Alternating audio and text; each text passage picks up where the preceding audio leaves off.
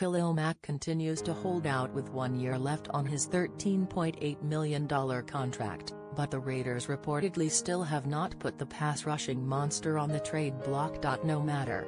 The Raiders have taken calls from several interested teams and reportedly have heard several offers. I don't know if the Bears are one of those teams, but they were on several lists of trade partners because they have the salary cap room to accommodate Mack's demand for a contract extension paying him $20 million a year. No compatible source was found for this media. The Bears also certainly have a pass rushing need, and that was true even before outside linebacker Leonard Floyd broke a hand. Mack delivered 10 and a half sacks last year and has played every game the last four seasons.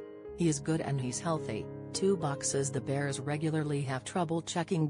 A trade instantly would make Mack the Bears' best defensive player.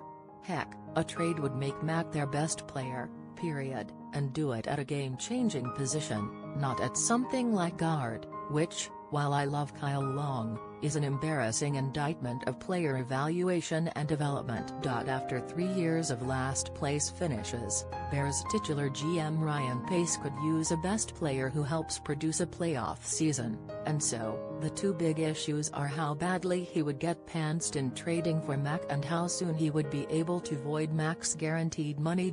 Read more for all the focus on passing in the Bears' new scheme. The running attack should be strong, led by Jordan Howard Stevie Sunshine's Power Rankings 1. Luscious. Unbeaten, untied, undisputed. 2.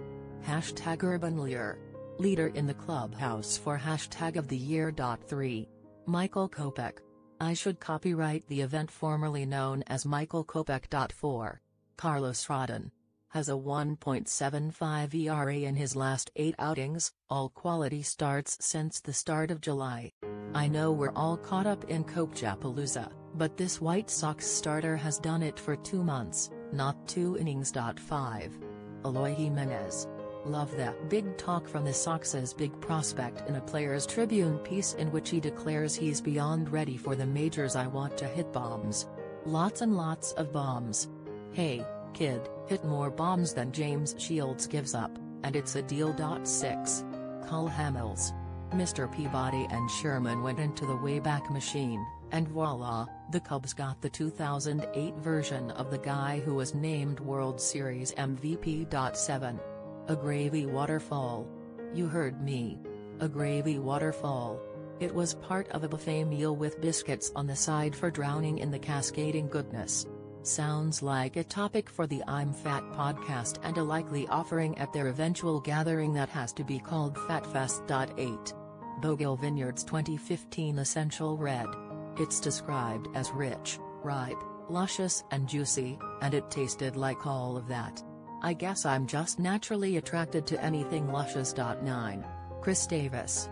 The A's hitter got his jersey autographed by Make-A-Wish child Anthony Slocum then wore the jersey to the plate and hammered a 438-foot homer.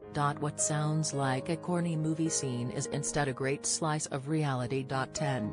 Getting to the Kennedy Express lanes just as they open. This must be what a prison break feels like. You know when women will be treated with respect at Ohio State University? When they can win national championships, that's when. The preseason Alabama Press College football poll is out. The Sox traded Luis Avilan. We'll always have Kopech Day. If Corey Crawford can't sound confident that he'll be ready to make a difference, then how can Blackhawks